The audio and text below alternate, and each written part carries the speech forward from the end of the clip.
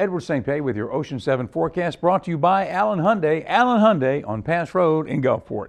Well, presently nice weather with high pressure still holding on, so a nice night, but a front moving in for the weekend will bring showers for Saturday, Sunday, Sunday night, and Monday before we'll clear out for Tuesday.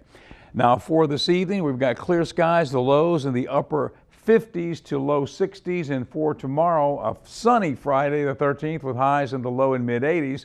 And then the showers begin through Saturday afternoon and evening, and then through Sunday and Sunday night, even early Monday. Some showers, but wind shifting northwesterly as that front pushes through. We should clear out Monday night, and then sunny and cooler for Tuesday. Here at Allen Hyundai, we have a lot of kids. We are offering over $6,000 off the 2017 Hyundai Santa Fe Sport, the perfect SUV for your family. We even offer family-friendly payments as low as 369 a month. The families of Allen Hyundai would like to thank you for helping us support numerous charities and over 30 families.